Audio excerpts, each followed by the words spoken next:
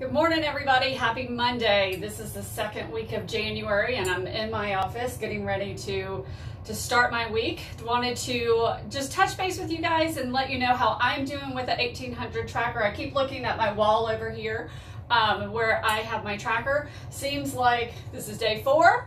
I have um, struggled a little bit with few of the things, some of the things, um, just making sure that I can get them in. Last night, you know, I had to take the dogs for a walk at, you know, 7.30 in the evening. It was a little chilly here in Florida. So it was, you know, trying to squeeze it in. So this morning I made sure that I got up early.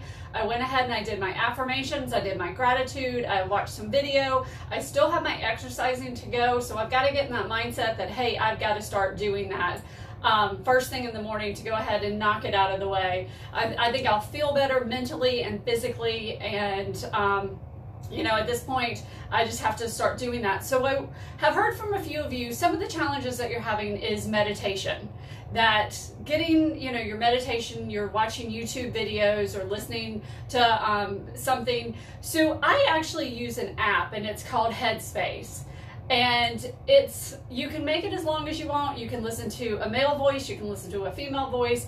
I i don't pay very much for it but i will tell you that headspace has made a difference with my meditation. I can also track how many minutes i've meditated how many days consistently i've meditated. So i really do like that app. I've also heard of um, an app called calm C-A-L-M. That's also an app that people are really starting, um, that they really like and it's pretty easy and user-friendly. So whatever you do to you know, be able to, to do that meditation, I will tell you it is kind of difficult to, you know, at first, just to keep your mind going. I'm still having a hard time like centering it back, taking my thoughts and bringing them back to that I'm meditating. But anyway, everybody have a great day. Please let me know if you're having any challenges. And I'd also love for those of you who have started, just, you know, down below, just tell me how many days you've been doing this consistently. So I'm on day four. Um, and also, if you need a tracker, let me know. I need. I've got two people that I've got to send out trackers to this morning. But everybody have a great day.